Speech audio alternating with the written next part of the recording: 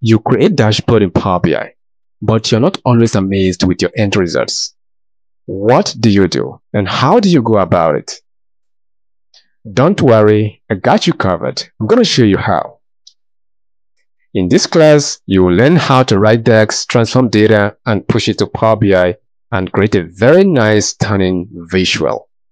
Make your dashboard outstanding with a very nice custom templates. You have no previous knowledge about Power BI? No problem.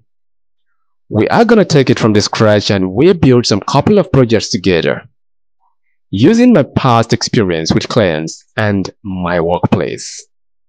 If your dream is to create stunning interactive and powerful dynamic Power BI dashboard, let's get it. Welcome to Data with Decision. Here we bring data to life.